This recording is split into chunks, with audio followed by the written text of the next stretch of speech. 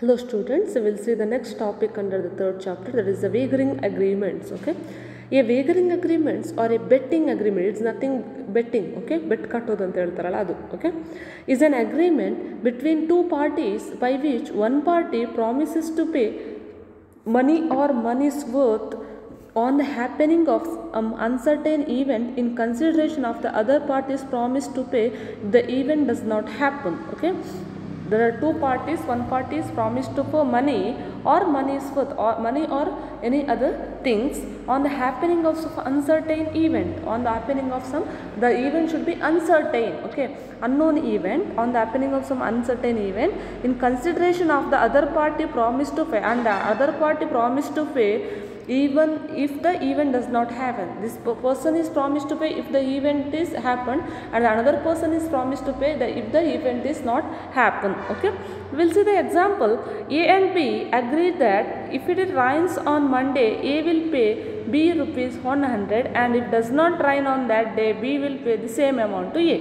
A and b agrees that if it rains on uncertain event okay whether the rain will come it's it's not the uh, certain right? It's uncertain okay? If it rains on monday A will pay 100 rupees and if does not rain on that the b will be the 100 rupees pay the 100 rupees to a that is the amount to a it is a wagering agreement it's nothing but betting agreement okay next we'll see what are the essentials of wagering agreements there must be a promise to pay money or money is what is over. The promise must be conditional on an event happening or not happening. Okay. The promise on the basis of the happening of event and non-happening of the event. The event on the happening of which the amount is to be paid must be uncertain. The event should be uncertain, not the certain or not the known event. It should be the uncertain, unknown event. There are only two parties to wagering agreements, only the two parties. The uncertain event may be future, it is the event, okay, not even, is it uncertain event, maybe future event or a past event, but the contracting parties are not in the known of result. The, un, uh, the uncertain event may be the future event or the past event also maybe the past event also but the parties of the contract know not known about the results okay each party to the agreement or stands to win or lose there they have to uh, party to the agreement was stand to win or loss. Either they win or they will loss okay? There must be a common intention to bet at the time of making the agreement. There should be a common intention of the both the parties at the time of making the bet okay? Next, the parties to the wager should have no other interest in the event except the stake money which he will win or lose.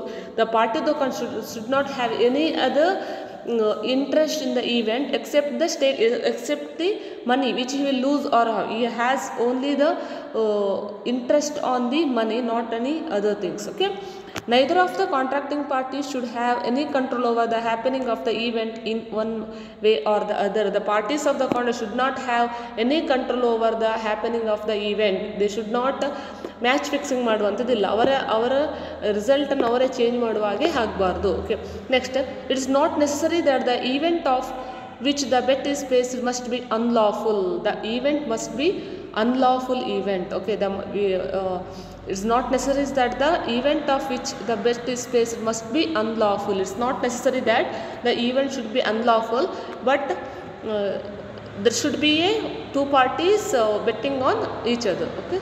Next one see there are some there are some exceptions to wagering agreements. We'll see. First one, horse race carrying a prize of 500 or more. The horse race actually betting, right? But uh, as per the law, horse race carrying a cash prize of 500 or more, it's not a wagering agreement. It's illegal. Share market transactions undertaken with the intention of giving or taking delivery of shares. Sometimes share market is also uncertain events, right? But it's also a wagering agreements. Commercial transactions undertaken with the intention of uh, intention of giving or taking delivery of goods. This is also commercial transaction undertaken with the intention of giving or taking of delivery of goods is also not a wagering agreements next. Chit fund plans are this, these are not the wagering agreements. Next. Prize competition in games of skill there's uh, we, are, getting some prizes at the time of playing the games in some competitions or any programs right? That is also also not a wagering agreement. Insurance contracts insurance contracts also not a wagering agreements okay? Next we'll see the effects of okay make correction here. effects of wagering agreements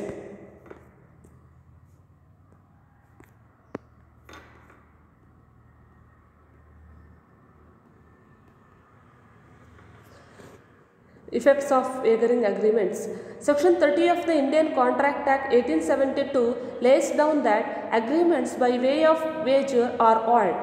Okay, as per the Indian Contract Act, the agreements uh, laid down under the wager, if there is a wager, uh, wager agreements are void and no suit shall be brought for recovering anything alleged to be owned or any wager or instructed to any person abate by the result of by game or any other uncertain event on which uh, any wager is made. We cannot recover the if the if the person lo- lose something or the, something from the betting it cannot be recovered as per the law because the wagering agreements are always void agreements okay this is about the wagering agreements. Next class we will see the one more topic under this top, last topic that is the contingent contract in the next class. Okay thank you